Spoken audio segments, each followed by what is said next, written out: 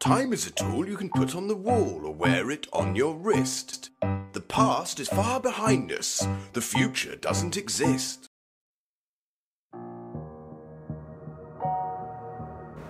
Интернет просто запланили подобные видео с надписями о том, что ты избранный и запомни дату 27 августа.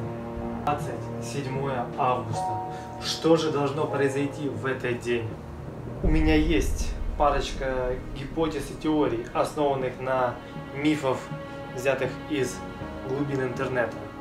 Интересно? И какой же это список теорий без всеми любимых пророков? Симпсоны. В этот раз говорят, что они пророчат смерть Трампа, которая в мультсериале произошла именно 27 августа. Ох уж эти Симпсоны, ни года без какого-либо предсказания не могут прожить. На этот раз смерть президента. Но есть же более логичное объяснение этому дню.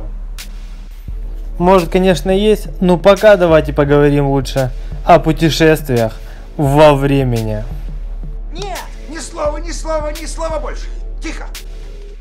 Суть данной теории в том, что парень утверждает, что он прибыл из 2090 года и привез с собой этот звук, который слышат только избранные, именно те люди, которые должны будут предотвратить грядущую войну, которая в свою очередь начнется 27 августа. А теперь давайте серьезно. Что же все-таки реально будет 27 августа? Ну, кроме календарной даты и чьих-то день рождений, именно 27 августа Марс будет настолько близко к Земле, что в 00.30 по московскому времени его будет можно наблюдать как Луну на ночном небе.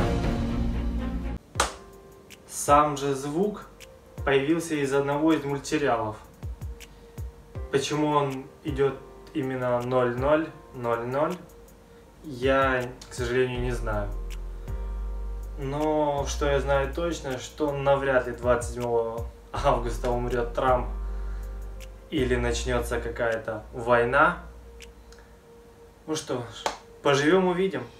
А пока подписывайтесь на канал, ставьте лайки и до новых встреч. Пока.